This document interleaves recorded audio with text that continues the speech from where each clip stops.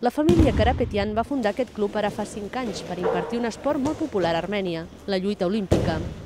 Mi padre eh, le gusta mucho la lucha, fue luchador y fue entrenador también en, en Armenia y en Alemania y desde siempre quería montar un club y cuando tuvimos recursos pues nos decidimos y lo montamos.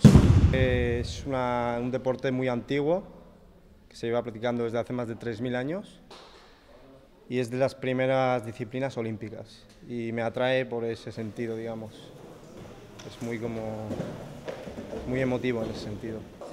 Ahí es el deporte principal junto con el boxeo. Eh, todo el mundo sabe lo que es la lucha, todo el, todo el mundo si no la practica al menos la ve. Es como el fútbol aquí. Es muy fuerte, los niños lo practican desde muy pequeños también y está muy, muy relacionado con las familias, con la escuela, con todo. El club, instal·lat a nou barris, compta amb gairebé uns 40 alumnes, a partir dels 4 anys i sense límit d'edat. Gairebé el 50% són armenis residents a Catalunya. La intenció del club és difondre la pràctica d'aquest esport a la nostra ciutat. Per això, fins i tot han organitzat un torneig internacional amb la participació de clubs d'Armènia, Rússia i Ucraïna.